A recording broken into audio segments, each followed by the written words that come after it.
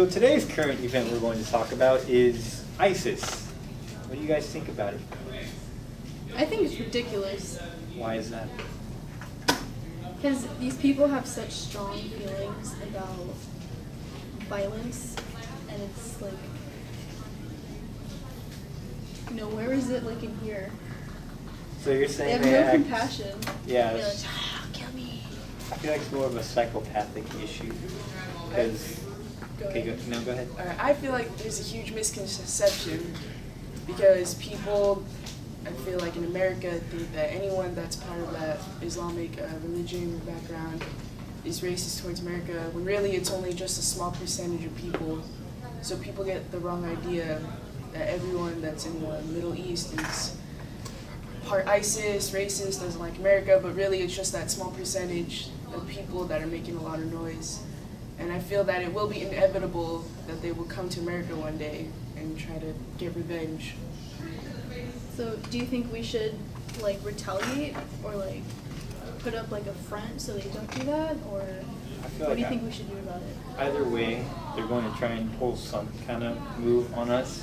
So I feel like we should just set a border and have like annual checks or whatever, you know, like how they do with airports and roads and all that kind of stuff. Yeah. So that's my idea. I like that. To be alert, but to not be aggressive unless they aggress you. Well, they have been killing our people, even though they're just, Yeah, the hostages. yeah, There's multiple hostages, mainly journalism. People that, Unfortunately. where they're doing research. It is unfortunate, and I think that they're only doing it obviously just like this I saw and to grab attention. grab attention, a lot of attention, and they're getting that. And which apparently make a point, but no point is being made. 'Cause What exactly have we done to their country? I can go on for Okay, that's true. We are a very, awesome country, but I would say problem-filled country, but Both. that works too. And you know this this Islamic group, they're making commercials and videos, propaganda videos to simulate GTA 5 video game. So that way it appeals to younger children and teenagers like, oh yeah, that's what I want to do, you know. And it's totally influencing them to be a part of that kind of mindset of violence and hatred and killing and all that stuff. So it's really Even here in the U.S., young people are exposed. They, they see the videos, they get ideas, like they can learn for themselves what it's all about. And it's just overall, it's just not good to have this going on. But you see, that's, I think it's more of the person's decision to allow themselves to do that. Like, we all have that spot in our heads where we're like, oh, we know right and wrong. This is wrong. We shouldn't do it. But with that comes at an age. You know, when kids are exposed to this stuff, they're not able to think on their own and make their own decisions because they're so highly influenced by their surroundings and stimulants from the environment. But that's why we have age limits on things, isn't there? Even though most people don't follow those. Like alcohol. Yeah, exactly. Alcohol. Perfect example. Yes. Well, actually, cigarettes are 18, legal 18 now. But anyway, Driving too, you have to be 16 to have a license. But, people do stuff like so how do you feel about ISIS? I don't like them. They're violent And and unreasonable why?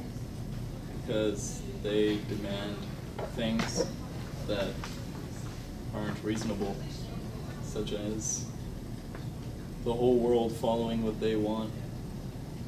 And yeah, So, are like the radical groups going into other countries and expanding?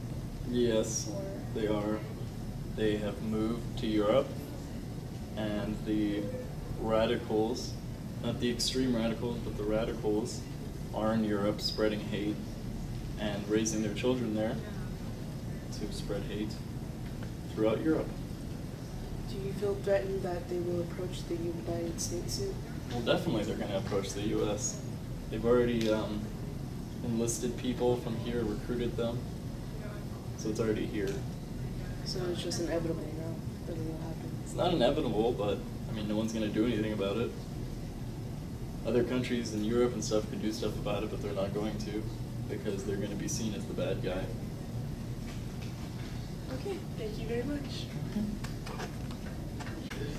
So apparently, from all these discussions, we've concluded that there's a lot of violence in the world. When- Definitely. yeah, I feel like we should come together as a plan and do something about this whole scarcity of water instead of tending to fight one another for oblivious reasons or stupid reasons. Exactly. I'm And- aiming for world peace.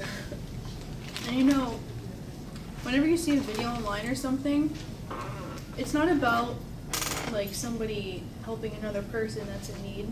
It's always filming like the violence that's going on. Like if there's a fight or if somebody, you know, got run over and there's nobody helping them.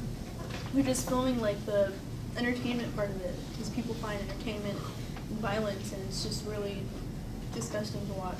really, it's just mindless entertainment because the people that are fighting probably aren't really thinking through why they're even mad at each other in the first place. Things could be simmered, but usually they escalate over no reason just because people don't know how to communicate with one another.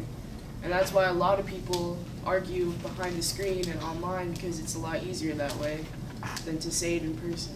Not only that, but our military is based on do as I say kind of thing, so they can't really think for themselves.